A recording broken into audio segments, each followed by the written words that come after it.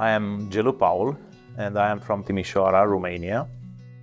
Romania is a country significantly open to the gospel. The most difficult thing is for them, however, to cross the border, cross the line, because they've been trained to believe that as they leave the Orthodox Church, they're losing salvation. I'm currently involved in holistic type of ministry that includes church planting. I'm pastoring a church. My wife and I are leading a discipleship group. We call it House Church for Teens, and most of them have come to the Lord. And a week ago, we had a baptism.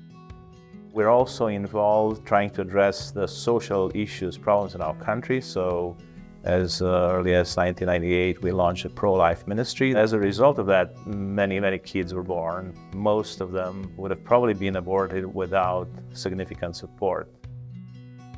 In 2019, after many years of being part of the forum as a participant and bringing lots of people from Romania to this forum, uh, it became clear for us that not only it's needed, and even though many of the leaders did not believe it's possible, last year we were able to launch the first Romanian forum in Romania.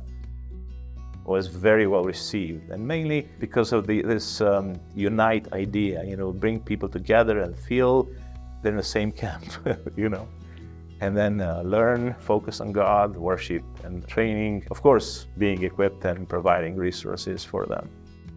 Romanian Leadership Forum has a vision, and the vision is this environment, evangelical environment where evangelical leaders or leaders to be come together. Last year we launched uh, eight uh, networks in Romania, and uh, this year we're adding four more. Our main effort is to create networks of trust.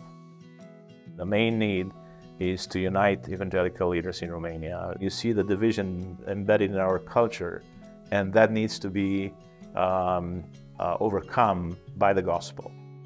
Partnership with European Leadership Forum has helped us by providing perspective, seeing this environment where evangelicals of different persuasions, even conflicting uh, perspectives at some point, can worship together and learn from each other and help each other and resource each other uh, was a kind of external evidence that what we've done in Romania for decades is not only working, but it's needed and it's transformational.